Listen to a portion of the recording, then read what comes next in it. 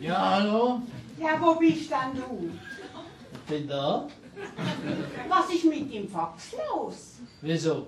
Ja, zuerst habe ich dich gemailt, wegen dem nächsten Montag. Aber das Mail ist irgendwie nicht raus. Äh, darum habe ich es ausgedruckt und dir als Fax geschickt. Hast du mir einen Fax geschickt? Ja, wegen Montag. Ich habe dir geschrieben, es ginge mir am nächsten Montag nicht. Ich bin eben im Altersturnen. Und das ist nur am Montag und das darf ich nicht fehlen, weil ich bin die Jüngste, muss die Übungen immer vormachen. Aber du hast nicht geantwortet, warum nicht? Ja, ich hätte schon geantwortet, wenn ich den Fax bekommen hätte, aber der ist wahrscheinlich nicht durchgegangen, weil ich habe eben abgestellt gehabt. Und Dann, dann sagt er ganz automatisch, dass der Teilnehmer nicht antworten kann. Ja, abgestellt, wegen was? Wegen der Spitex. Der Fax? Also wegen der Frau Huber, die kommt von der Spitex.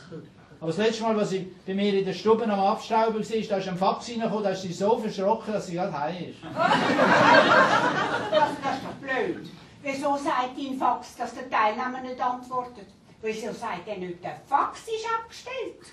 Heute könnte die Gerät doch alles. Wieso kann er nicht sagen, wie es wirklich ist? Ich weiß jetzt auch nicht, jedenfalls habe ich den Fax nicht bekommen. Ja, ich habe es gleich vorher ja gemailt, aber das ist auch nicht reagiert.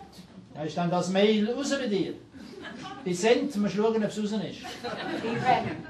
Bei Send musst du auf Send drücken. Also raus sollte es sein, aber nachdem du sie ja nicht bekommen hast, ist es vielleicht immer noch drin. Darum habe ich sicherheitshalber alles ja auch noch gefaxt. Aber äh, der Teilnehmer hat nicht Ja, wer ist überhaupt der Teilnehmer? Ich? Ich habe den Fax doch abgestellt. Warum stellst du dann ab? Also, Wegen der Frau Huber, das ist jetzt gleich. Jedenfalls habe ich bis jetzt immer noch keinen Bescheid von dir wegen dem ersten Montag. Ich bin im Altersturnen, das habe ich dir doch ausgedruckt. Dann kannst du mir es nochmal faxen, sicherheitshalber.